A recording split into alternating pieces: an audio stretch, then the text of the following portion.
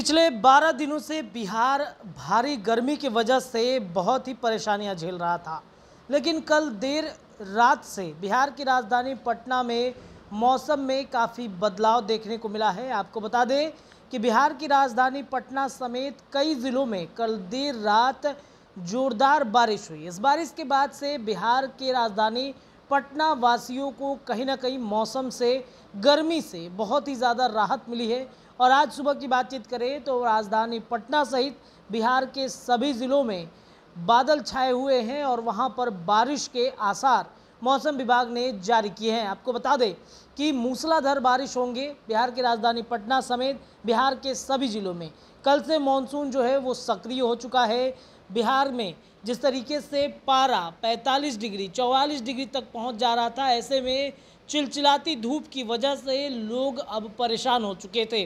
कहीं ना कहीं वो मौसम का, मानसून का इंतज़ार कर रहे थे और कल से मानसून काफ़ी ज़्यादा सक्रिय है और बिहार में अगले जुलाई तक कंटिन्यू बारिश होने के आसार मौसम विभाग ने जारी कर दिए हैं। यानी कि अब मौसम खुशनुमा, लोगों को मिलेगा और गर्मी से राहत भी लोगों को मिलनी शुरू हो गई है। बता दें आपको कि बिहार के लोगों को गर्मी से मिलने, राहत मिलनी शुरू हो गई है।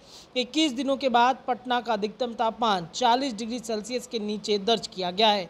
मौसम विभाग पटना ने आज सुपौल और एरिया में भारी बारिश की संभावनाएँ जताई हैं।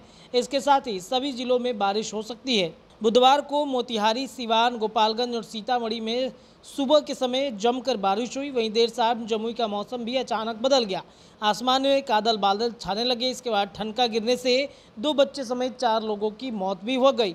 वहीं राजधानी पटना की बातचीत करें तो कल देर रात गरज के साथ झमाझम बारिश हुई। मौसम विभाग की ओर से बिहार के सभी ज़िले में आज लू या भीषण गर्मी की चेतावनी नहीं दी गई है।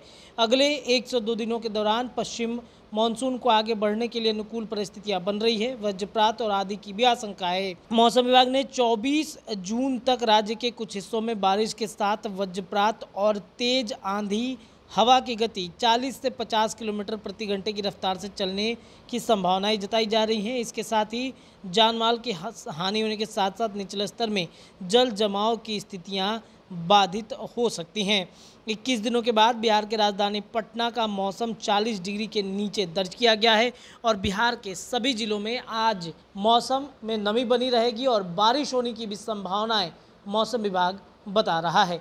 तो इन्जॉय कीजिए इस मानसून को, जुड़े रहिए हमारे चैनल द बिहार टॉप के साथ, धन्यवाद।